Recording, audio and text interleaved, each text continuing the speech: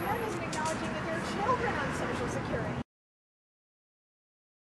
And by 2023, we'll have a $4.3 trillion surplus uh, that can pay the benefits for the next quarter century. Now, that's not something you hear a lot. We are giving Sharron Angle a big F